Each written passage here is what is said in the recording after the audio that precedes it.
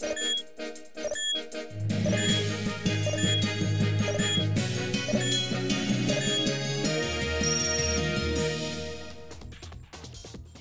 Un gobierno sin compromisos que luego se deban pagar con puestos públicos, la coalición política con otros poderes como el legislativo y la reorientación a programas sociales de 4 mil millones de pesos que hoy se gastan en viáticos, celulares y salarios de la alta burocracia, propuso el candidato del Movimiento Ciudadano al gobierno de Jalisco en la Plaza de Armas de Guadalajara. Alfaro atribuyó al PRI una guerra sucia en su contra.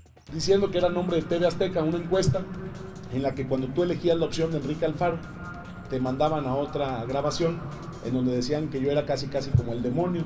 Entonces, este tipo de ejercicios cuestan mucho dinero, muchísimos millones.